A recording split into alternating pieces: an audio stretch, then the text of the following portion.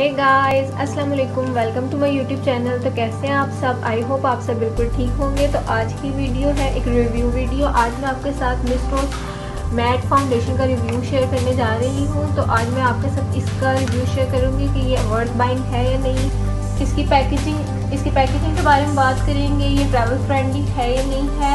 इसकी मार्केट में बहुत हाइप है, ये अफोर्डेबल होने के साथ साथ बजट फ्रेंडली भी है मार्केट में और लोकली अवेलेबल हैं तो आज मैं इसके साथ आपका स्वाचिस शेयर करूँगी। तो चलिए वीडियो को स्टार्ट करते हैं। सबसे पहले हम इसकी पैकेजिंग के बारे में बात कर लेते हैं। ये कार्डबोर्ड की पैकेजिंग में इस तरह आपको अवेलेबल होती है। इसके, मेरे पास यहाँ शेड है बेस फोर इसके ऊपर लिखा है कि ये मैट फाउंडेशन है और लॉन्ग वेयर लिक्विड फाउंडेशन है। मतलब ये मैट है तो ऑयली स्किन वालों के लिए ये सूटेबल होगी और ड्राई स्किन वाले भी यूज़ कर सकते हैं। इसको मॉइस्चराइजेशन मॉइस्चराइज करके अपनी स्किन को इस तरह की ये पैकेजिंग में है। इस तरह के अंदर से आपको प्लास्टिक ट्यूब में मिलेगी। इसके ऊपर यहाँ मेंशन भी है कि बेज फोर मैट फाउंडेशन इसके ऊपर लिखा हुआ भी है कॉम्बिनेशन टू ऑयली स्किन ये कॉम्बिनेशन टू ऑयली स्किन के लिए है सूटेबल है बिल्डिंग कवरेज है, इसकी आप बिल्ड कर सकते हैं, जितनी भी आपको कवरेज चाहिए, आप अप्लाई कर सकते हैं बिल्डेबल कवरेज है, इसकी सूटेबल फॉर सेंसिटिव स्किन ये सूटेबल है सेंसिटिव स्किन के लिए भी ऑयल फ्री फार्मूला है नॉन कोमोजेनिक है smooth on foundation for healthy flawless matte foundation matte finish ये तो इसके ऊपर लिखा हुआ है कि ऑयली स्किन के लिए सेंसिटिव स्किन वाले भी इसको यूज़ कर सकते हैं। और इसके कार्डबोर्ड की पैकेजिंग पे आपको इसकी मेड मेंशन एक्सपायरी भी मेंशन है। Thirty eight two thousand nineteen twenty nine eight two thousand twenty मतलब ये 2019 में बनी थी 2022 में एक्सपायर होगी तो ये एक प्लस पॉइंट है कि इसके ऊपर एक्सपायरी डेट भी मेंशन है। इस तरह की ये कार्डबोर्ड पैकेजिंग है। ये आपको मार्केट में two fifty three hundred easily मिल जाएगा। ग्रास डॉट पे आपको ये अवेलेबल है। आपके साथ इसके स्वादिष्ट शेयर कर देती हूँ।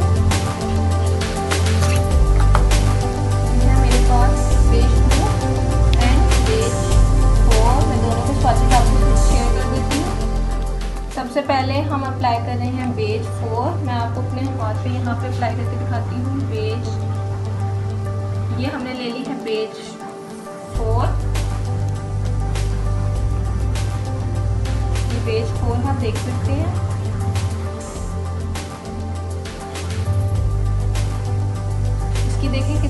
हाई कवरेज है ये।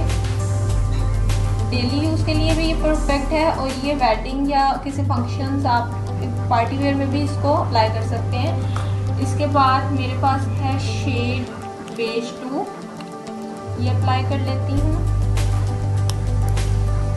बेज टू और बेज फोर में कुछ ज़्यादा डिफरेंस नहीं है कलर का। अगर आपकी स्किन मीडियम टू मतलब मीडियम स्किन है मीडियम टू डार्क स्किन है तो ये आपके लिए आपके लिए परफेक्ट है। ये देखिए, ये बेज टू है और ये बेज फोर है।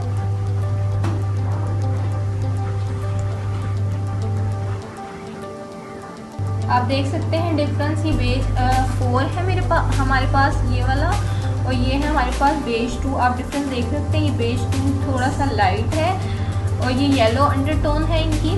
पिंक अंडरटोन नहीं है। अब मैंने ये फाउंडेशन लगा दी है मैं इसको हल्का सा फिंगर की हेल्प से टैप कर रही हूँ, आप इसकी कवरेज देख सकते हैं। मीडियम टू फुल कवरेज है इसकी। बिल्डेबल है तो आप और भी अप्लाई कर सकते हैं। ये देखिए बेज टू का स्वाच है ये। इसके बाद मैं ये ओवल ब्रश ले रही हूँ।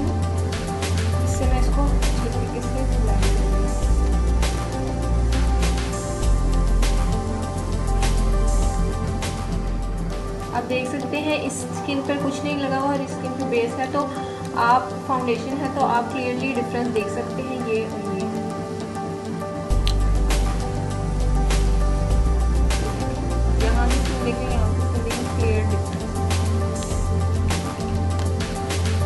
मैं आपको सजेस्ट करूँगी कि आप भी फाउंडेशन लें ट्राई करें। बजट फ्रेंडली होने के साथ साथ ये अफोर्डेबल भी है मार्केट में इजीली अवेलेबल भी है और इसकी प्राइस भी बहुत कम है तो आप लें, इसको ट्राई करें और ये मैट फाउंडेशन है तो ऑयली स्किन वालों के लिए तो ये प्लस पॉइंट है बेस्ट है फाउंडेशन और अगर ड्राई स्किन वाले यूज़ करना चाहते हैं तो कोई भी मॉइस्चराइज़र अप्लाई करके फाउंडेशन यूज़ कर सकते हैं, ये ड्राई स्किन वाले भी यूज़ कर सकते हैं। तो अगर आपको मेरी वीडियो पसंद आई है तो कमेंट में मुझे बताइएगा और मैं मिलती हूँ अपनी नेक्स्ट वीडियो में, तब तक ही रखिएगा अपना ढेर सारा ख्याल। अल्लाह हाफिज़।